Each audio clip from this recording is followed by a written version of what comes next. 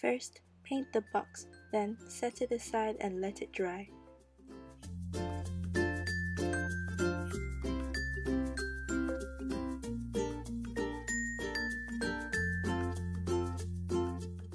Now, I'll show you how to make some sea creatures out of recycled materials.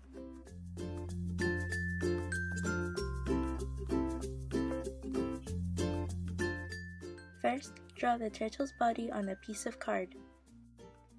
Then, use scissors to cut it out. Next, color in your turtle. After that, take the bottle cap and draw the shell.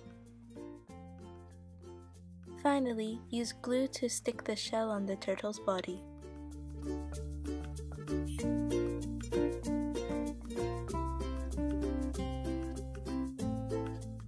First, color in the toilet paper tube. Next, cut out 8 tentacles. After that, use a black marker to draw on the details. Make sure to give your octopus a big smile.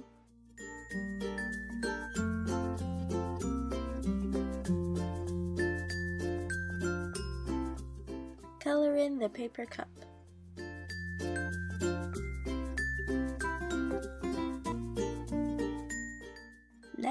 Stick double-sided tape along the inside edge of the cup. Then, take the plastic bag and cut strips for its tentacles. Finally, peel the double-sided tape and stick the tentacles on.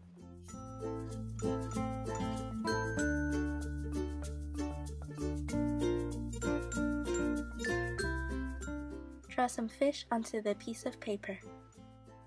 Make sure they're nice and colorful.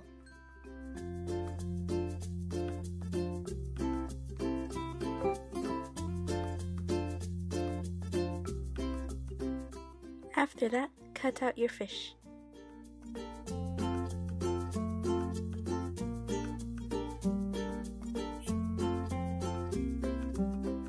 First, shape your Play-Doh for the base of the coral. Next, cut the straws into different shapes and sizes. Then, stick them into the Play-Doh.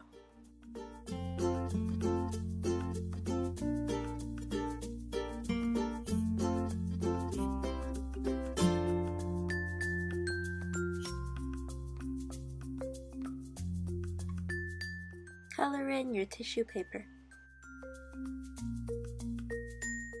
Then you can either cut or tear up the tissue paper to make seaweed.